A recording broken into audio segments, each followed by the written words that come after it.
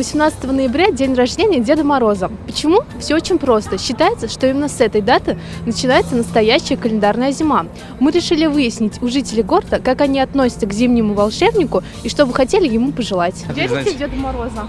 Да, правда, мне моя сестра сказала, когда мне было 8 лет, что его не существует, но я ей не верю. А, что бы пожелали ему на день рождения? Ему, блин, чтобы работа была, сейчас времена тяжелые, понимаете, небольшой финансовый кризис, вот думаю, чтобы у него все было неплохо. Обязательно, а как без него? А что бы хотели ему на день рождения пожелать? Ему на день рождения здоровья, счастья.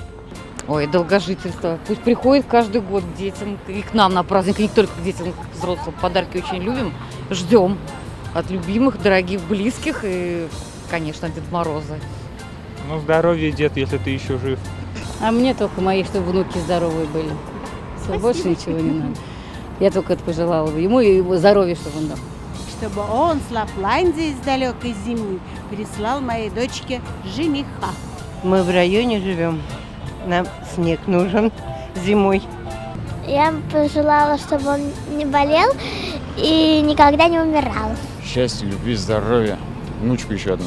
крепкого здоровья, конечно же, благополучия, как всем детям много-много сладостей, А, но чтобы не простудился ни в коем случае перед праздниками. Спасибо.